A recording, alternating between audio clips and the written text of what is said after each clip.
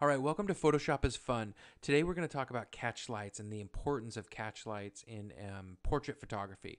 So, catch lights are really the crown jewel of any good photograph. They're the thing that makes um, a person's, um, uh, you know, a person's image look like um, the subject has come to life or has a sparkle in their eye. And if you don't know what a catchlight is, essentially it's just a photography term, and it means the reflection that you get off of your light source. Um, so when that thing, um, you know, blasts out its light and it hits the um, subject's eyes and reflects back, it gets captured in your photograph and it really gives a nice look to an image. And you can see in this particular image, um, th this guy's got a catch light in the 3 to 11 o'clock position. It expands across that on each eye. It's relatively uniform, etc. And it gives us um, this picture a nice, um, beautiful look to it. All right, let's go ahead and build our own catch light, and we'll we'll kind of customize it so that it has um, uh, it has our kind of signature look to it.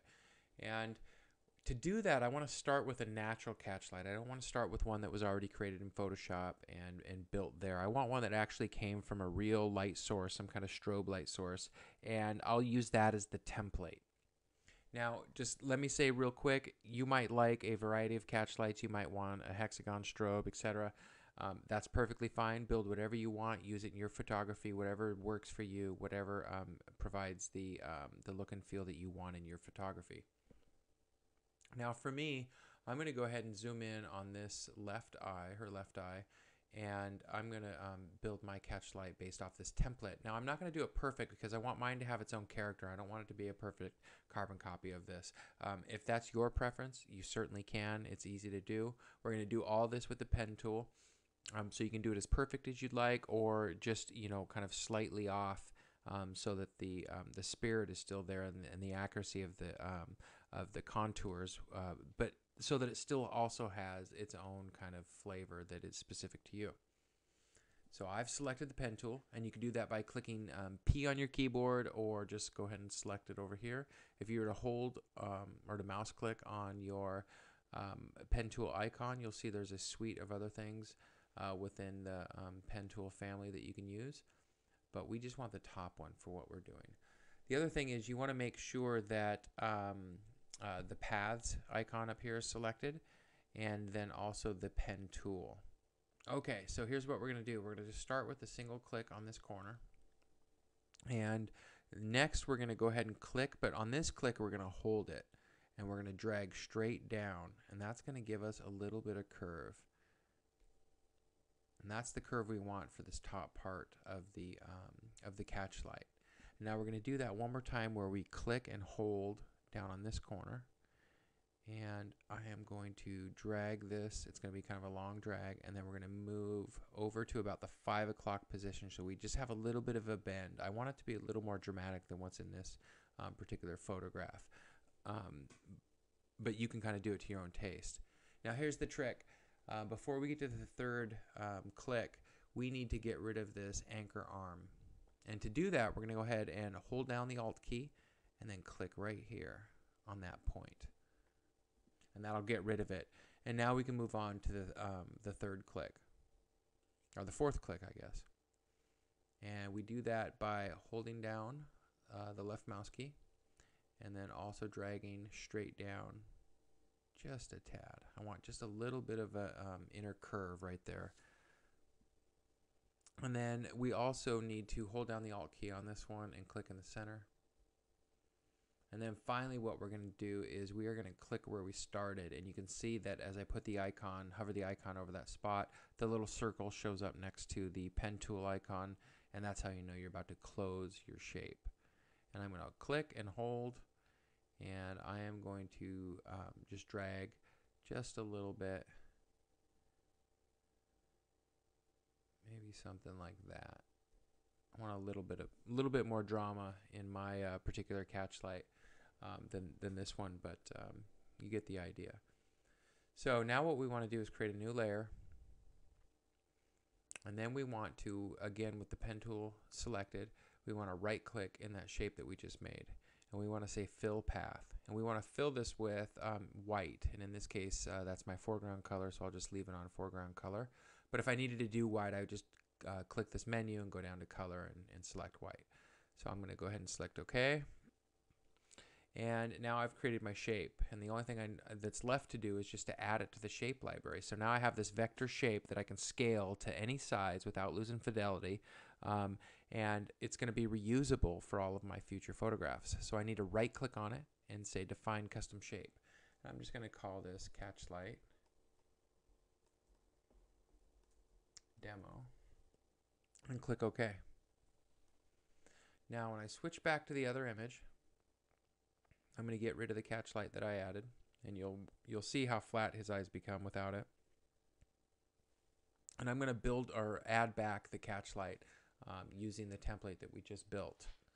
So if I zoom in on his eyes, and I'll start with the left, and then select the um, custom tool, custom shape tool down here, and then go up here, I can find that new custom shape, which is right here, Catchlight Demo. I can select it, and I can um, click and get any size vector object shaped in that um, catchlight.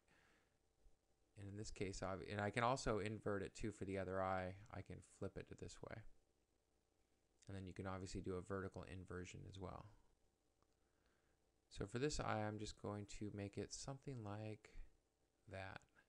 And my foreground color is white, so the catch light will also be white. And I'm going to position it um, a little right around the um, right around the nine o'clock position. And just so you know, um, I don't think there's really a standard on this, but um, catch lights generally um, in studio and what I've seen um, out in the field generally um, fall within the nine to three o'clock position. So anywhere in here, you just kind of play around, see what you like, what works for your photography, and um, go with it. Now on the other eye, I know this looks ridiculous. It's too white. Um, we'll deal with that in just a minute. I want to create both catch lights. So I'm going to click back on the shape tool, the custom shape tool. I still have the catch light selected. And this time I'm going the other way. Um, so I'm going to drag to the left instead of the right.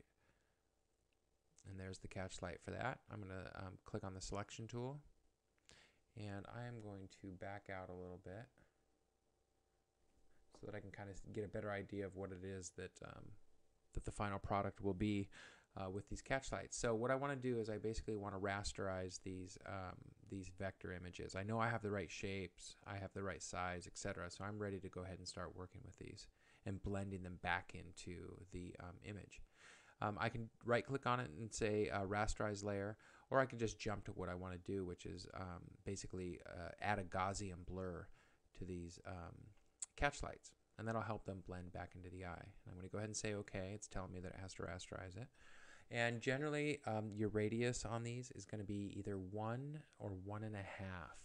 Um, not really much beyond that. And in some instances, you know, again, whatever your style is, but generally speaking, it's about one, one and a half. I'm going to go ahead and do one, and it'll apply the Gaussian blur. And on the other one, I'm going to do the exact same thing. So I'm going to say filter Gaussian blur. It'll have the same settings as the previous one. And of course, it still looks a little ridiculous. And what I want to do is um, I'm going to go ahead and combine these um, two layers, um, uh, shape 2 and shape 1, because I've already positioned my catch lights. I'm pretty sure I'm not going to need to move them. And then I have a, a backup way to move them if I need to because they're so well separated. Um, but I'll, I'll, find working with them a little bit easier if they're on the same layer. So I'm going to say Control W, or you could go um, merge down, or it's Control E, sorry. And now I have um, my catch lights on one layer. So now what I want to do is I basically want to blend them back into the image. I'm going to zoom out one more.